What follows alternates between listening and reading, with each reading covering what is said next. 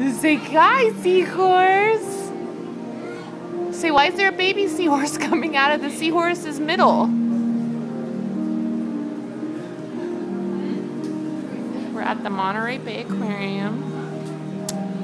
Today is September 4th, I think, or 5th, 2012. Domi's almost two.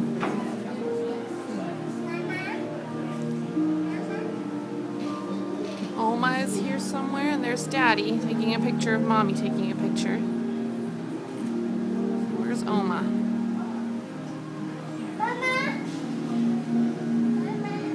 Domi, be careful. Say hi, Oma. I'm recording. Say hi to the camera. No?